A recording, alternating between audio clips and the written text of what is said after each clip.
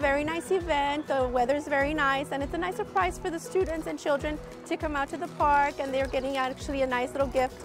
Uh, free Easter baskets, a nice event. Um, they can play at the park. There's some goodies, some treats, and all for the community and the children of Laredo.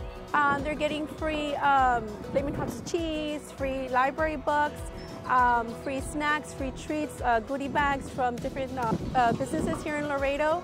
Um, but the children are very excited. Families seem to be coming together. It's a nice event.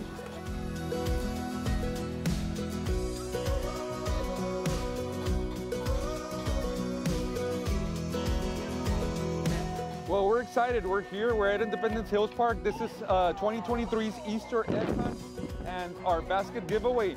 As you can see, we have plenty of games, plenty of family fun. Uh, we have train rides.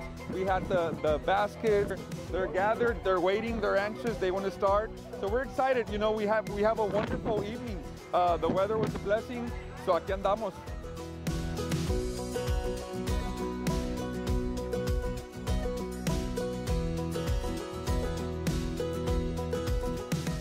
This Easter event, I think it's very nice uh, for the community itself, having us here and uh, inviting all the people uh, from this community to go ahead and come by and enjoy the rides, the information that you get from realtors, uh, from state agents, and from the community as well. It does help.